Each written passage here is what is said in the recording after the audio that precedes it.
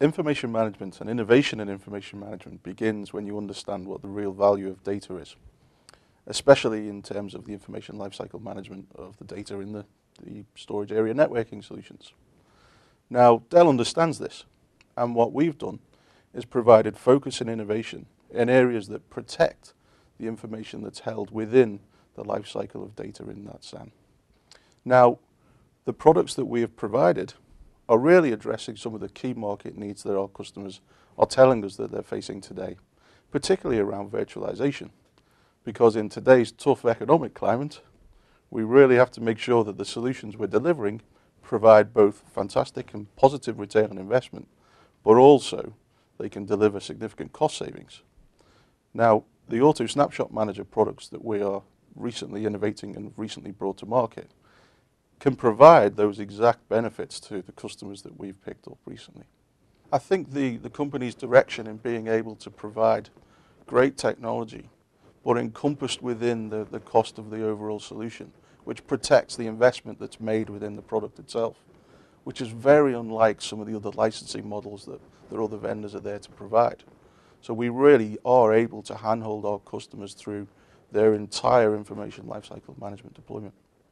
Dell's innovation, as far as information management concerned, has been focused on providing the real security for customers that the array is providing the necessary levels of protection for the information that sits within the array itself. Now, our customers are quite happy that, in actual fact, we already provide good levels of, of management within the array um, for technologies such as storage tiering and for providing snapshotting type protection. Now, the new innovation comes within the VMware edition of our auto snapshot management tools because we recognize that we have to be able to protect at multiple layers within the information management lifecycle. So we have to protect an application. But where virtualization is incredibly important to us these days and to our customers, we also have to protect at the hypervisor layer and also at the site layer.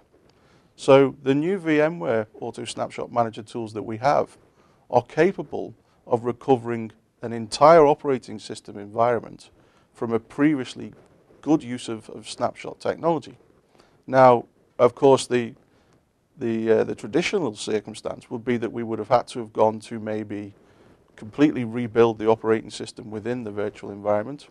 We would have then had to patch the operating system, and we would have had to relay the application on top and then recover from tape the data into that virtual machine. We no longer have the requirement to do that now that the Auto Snapshot Manager for VMware can integrate directly into VMware's APIs for Virtual Center so that we can get very quick granular recoveries of that critical information. Now, the best thing about all of these products is that they're included with the support elements of the array itself. Therefore, when customers choose to adopt these new technologies, there's no cost whatsoever to do so because it's entirely encompassed within the, the price of the array.